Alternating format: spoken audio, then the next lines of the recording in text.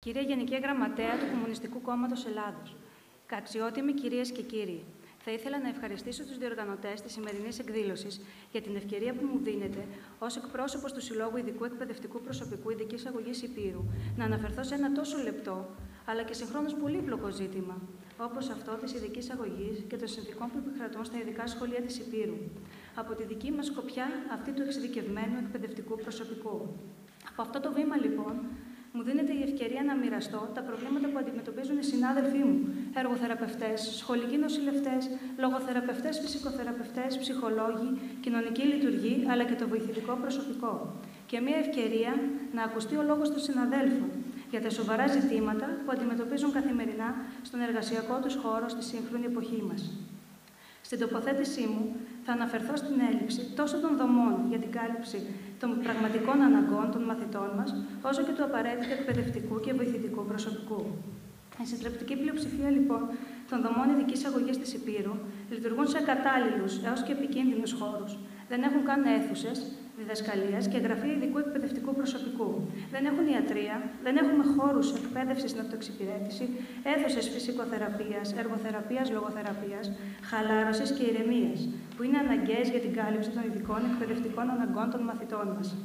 Είμαστε επιστήμονες στον χώρο της εκπαίδευσης και οφείλουμε να προάγουμε και να παρέμβουμε για τους μαθητές μας. Καλούμαστε καθημερινά ε, σε αίθουσες λίγων τετραγωνικών να είμαστε μέσα δύο-τρει συνάδελφοι με τέσσερα, έξι, οχτώ παιδιά.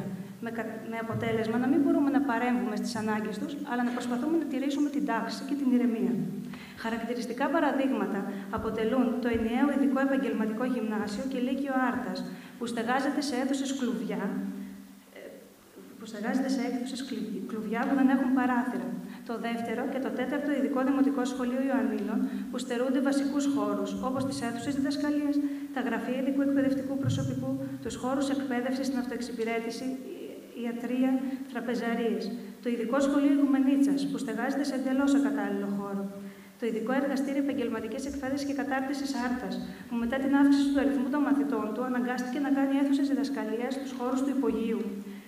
Το ειδικό εργαστήριο επαγγελματικής εκπαίδευσης και κατάρτισης Ιωαννίνων, που στις πάνω αίθουσες, σε περίπτωση σεισμού ή οποιοδήποτε ή μια πυρκαγιά, δεν έχουν τρόπο να διαφύγουν οι μαθητές και οι εκπαιδευτικοί.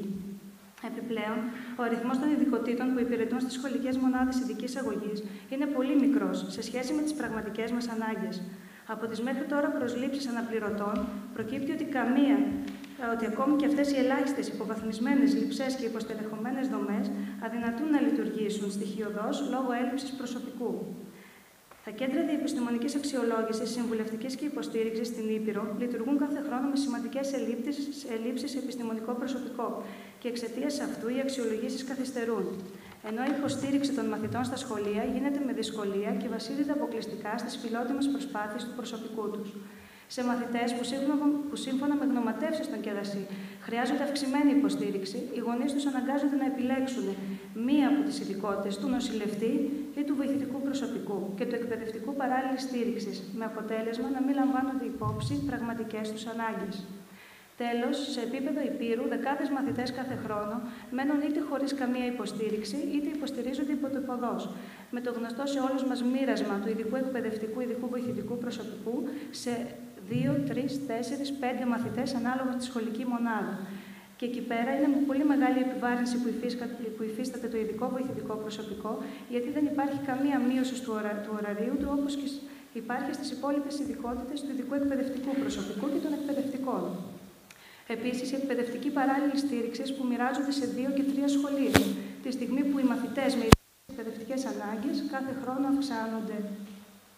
Με βάση λοιπόν τα παραπάνω προβλήματα, εμείς, ως Σύλλογος Ειδικού Εκπαιδευτικού Προσωπικού Ειδικής Αγωγής στην Ήπειρο, Στις 23 Οκτώβρη συμμετέχουμε στις απεργιακές κινητοποιήσεις μαζί με τους εκπαιδευτικούς και τους γονείς για μισθούς αξιοπρέπειας, για συνθήκες διαβίωσης βάσει των αναγκών μας, ενάντια στην αξιολόγηση, κατηγοριοποίηση των σχολείων μας και των εκπαιδευτικών μας, για τις ντροπιαστικές καταστάσεις που επικρατούν σε ειδικά σχολεία και κεδασί, για τη μονιμοποίηση όλων των αναπληρωτών εκπαιδευτικών, για την εξίσωση των διδακαιωμάτων των μόνιμων και των αναπληρωτών εκπαιδευτικών, για να δικαιωθούν τα δίκαια αιτήματα των συναδέλφων του ειδικού βοηθητικού προσωπικού που τους αντιμετωπίζουν σαν εργαζόμενες δεύτερης κατηγορίας. Είμαστε παρόντες, διεκδικώντας καλύτερες συνθήκες εργασίας για τους συναδέλφους μας. Στεκόμαστε πάντα στο πλευρό τους, δίπλα σε κάθε πρόβλημα που αντιμετωπίζουν. Προβάλλοντας βασικές διεκδικήσεις του κλάδου μας και επιδιώκουμε τη συγκέντρωση όλο και περισσότερων συναδέλφων στο σύλλογό μας, διότι μόνο μέσα από τη μαζική συμμετοχή μπορούμε εν τέλει να διεκδικήσουμε τα δίκαια αιτήματά μας και να φτάσουμε στο επιθυμητό αποτέλεσμα για τον κλάδο μας, σε συνεργασία πάντα με τους εκπαιδευτικούς και τους γονείς των μαθητών μας. Ολοκληρώνοντας, Θέλω για ακόμη μία φορά να σας ευχαριστήσω για το σημερινό κάλεσμα και ελπίζω τα όσα ακούστηκαν να σας προβληματίσουν. Καλούμε και εσάς από τη θέση σας να μας στηρίξετε και να μεταφέρετε τις διεκδικήσεις του κλάδου μας στους υπεύθυνους του Υπουργείου ή ακόμα και στη Βουλή των Ελλήνων.